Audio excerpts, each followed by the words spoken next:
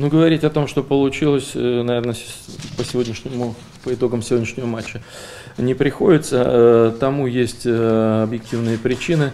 То, что команда уже много матчей проводит не сильнейшим составом.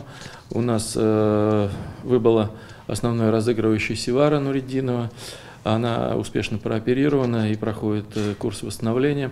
Конечно, она была ключевым фактором, она э, много моментов создавала для других, и э, с нападением у нас было попроще. У нас отсутствует Сейши Грантален, которая болеет, у нас долго восстанавливалась после травмы, еще не, не пришла в стопроцентную форму Раиса Мусина.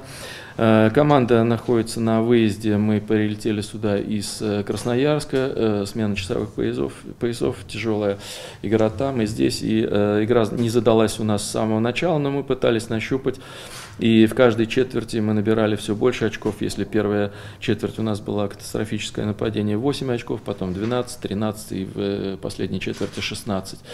Э, мы пытаемся найти свою игру. Э, процент попаданий у нас 38 двухочковых и 25 трехочковых не позволяет выиграть. Мы проиграли подбор. Вот, собственно, объективные причины сегодняшнего нашего поражения.